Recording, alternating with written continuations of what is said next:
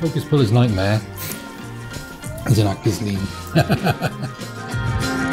gotta have something to work in this industry because more fingers on my right hand than people I would wouldn't want to work again with. You know, working through the night, going to work, know, knowing that whatever the weather, you're going to be out there doing it. If I was at the age of a lot of those people upstairs, I'd like to do it all again.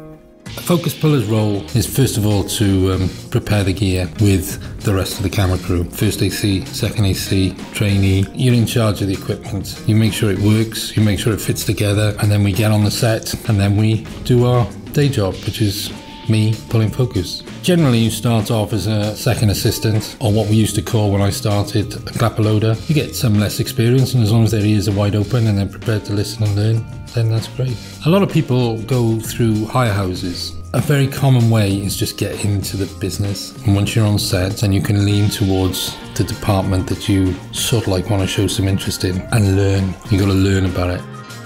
If you see something that's happening, if there's something goes wrong, you've got to sort it out. And if everybody on the set is watching you, I haven't got time to explain how I sort out a camera problem. And that was the way I learned by watching and asking.